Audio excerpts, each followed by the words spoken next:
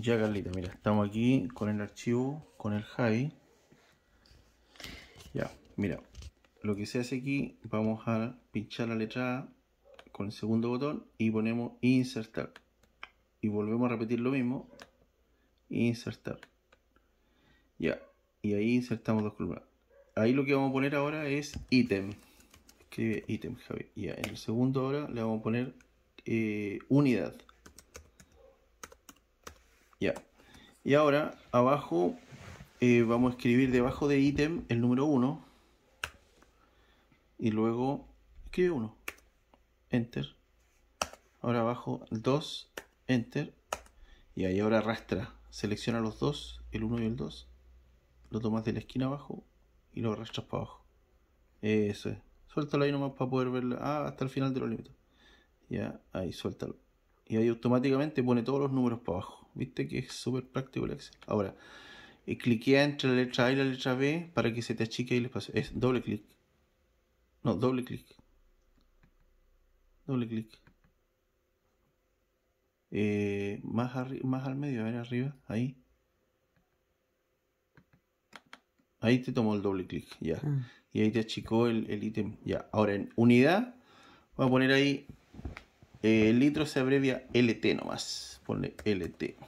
Después abajo kilo, se le pone K y una G, kilogramo. Abajo igual lo mismo, kilogramo. Sobres, es- eso se abrevia como, eh, o son tres unidades. Tres, ponle uno más, como unidad. Después Ah, se 19. pone solo unidad. Ah, 19. También, eh, Unidad. sí. Kilo, igual. Ya. Bueno, y así sucesivamente. Ahora, en el lado donde dice cantidad, arriba tienes que eh, unidad, cantidad. Ahora solamente tienes que dejar el número El 3. número. 3.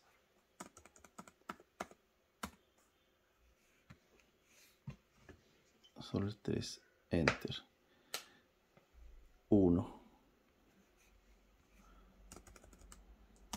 Ahí la otra opción es, a ver, y cliqué arriba la letra C para que lo dejes todo cargado hacia la con el con este, con ese botón de arriba ahí.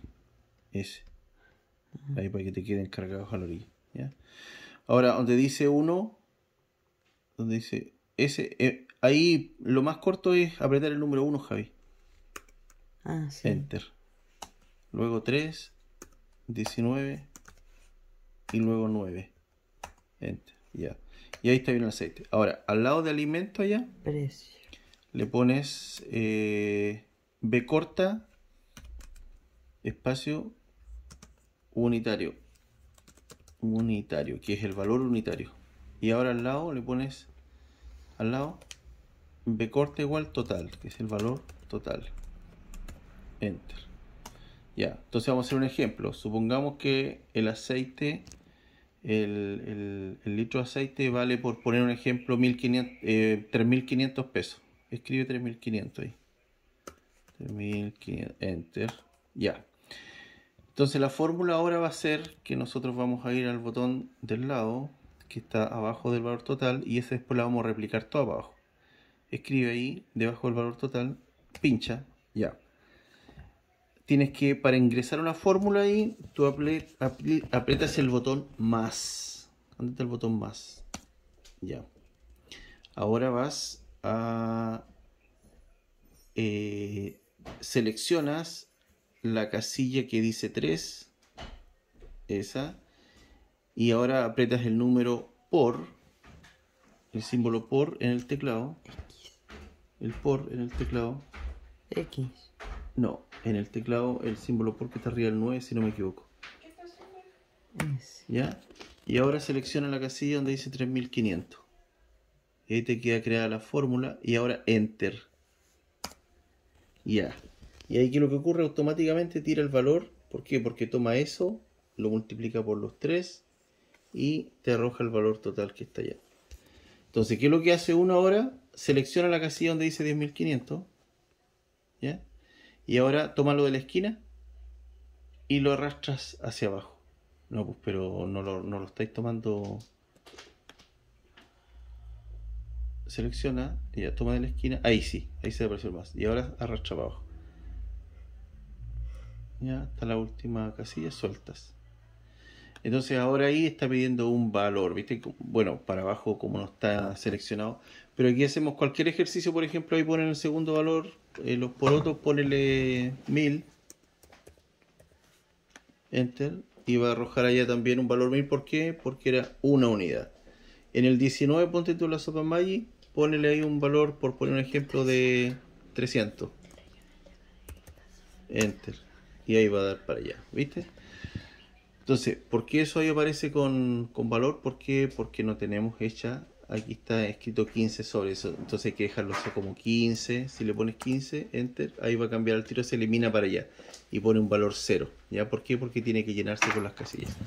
Así que eso es, Carlita, te vamos a mandar esta planilla Excel, ahí le puedes poner al lado completar con rojo, dejarla más bonita que sé yo, y de esa forma queda algo que, que, que entregaría un, un valor eh, completo. Y al final abajo uno después le pone un valor total. Vamos al final abajo. Selecciona todo, selecciona toda la desde arriba hasta abajo, eso es. Y dejas pasado una casilla, eso es, y le pones el símbolo de sumatoria. Que es ese autosum, correcto. Seleccionalo. Y ahí automáticamente va a sumar todo y va a entregar el valor que abajo que en este minuto no lo entrega. ¿Por qué? Porque hay que trasladar esos que tienen que ser números, no palabras. Por eso es que al lado allá no lo entrega como corresponde. ¿Ya? Pero si nosotros lo tuviésemos así, ya estaría arrojando un valor según la sumatoria que estaría haciendo ahí. Eso, Carlita. Hablamos.